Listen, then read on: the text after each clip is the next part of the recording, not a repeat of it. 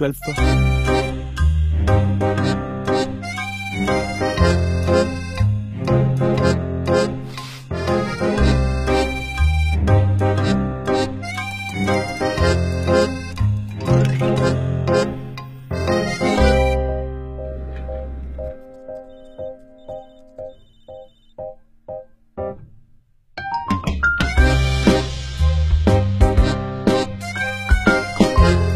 If it's in writing, it's always on the patient's mind.